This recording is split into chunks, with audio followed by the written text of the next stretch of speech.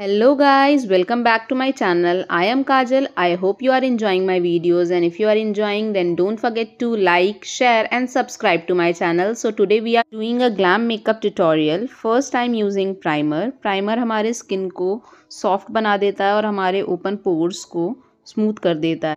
Now I am taking Maybelline foundation अब इस foundation में मैं थोड़ा सा सिरम मिक्स करूँगी ताकि मेरा फाउंडेशन लाइट वेट हो जाए, जिसे भी ज़्यादा हैवी मेकअप नहीं पसंद, वो ये ट्रिक ज़रूर ट्राई करना, ये बहुत इफ़ेक्टिव है। Now I am applying with a foundation brush ये बहुत ही अच्छी फिनिश देता है आपके मेकअप को। You can see the difference मैंने हाफ़ फेस पे पहले लगाया है ताकि आप डिफरेंस देख सको।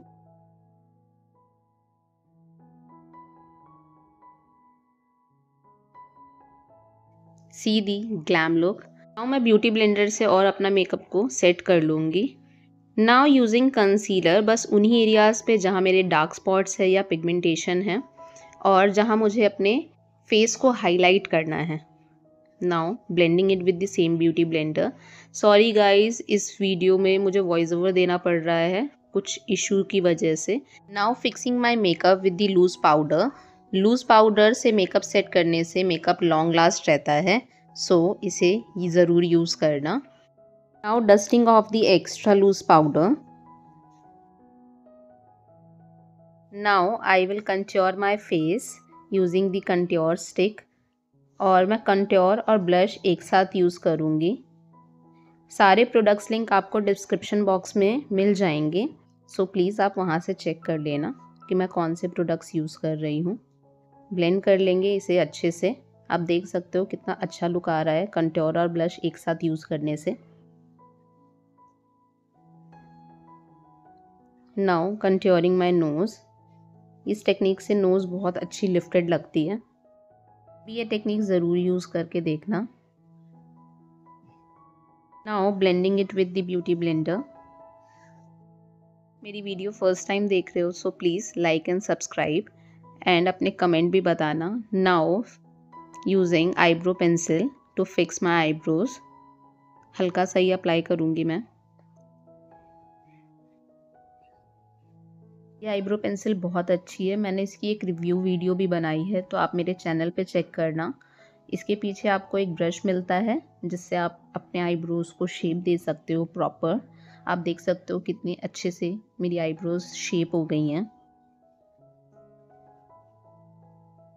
अब मैं आई शेडो के लिए एक न्यूड शेड एंड देन उसके ऊपर ऑरेंज शेड यूज़ कर रही हूँ। हम बहुत ज़्यादा ड्रामेटिक लुक आज क्रिएट नहीं कर रहे हैं। Now using mascara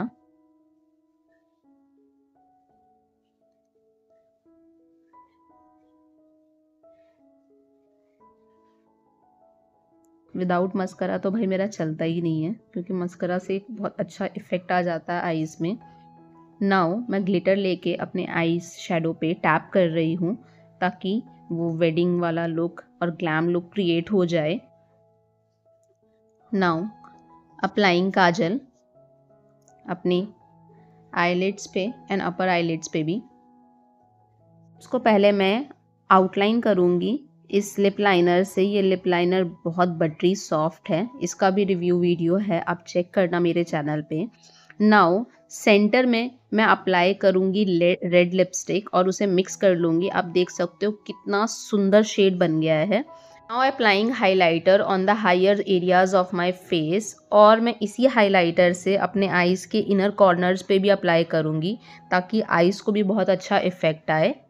same eye shadow मैं अपने आइज़ के लोअर लैश पे अप्लाई कर लूँगी।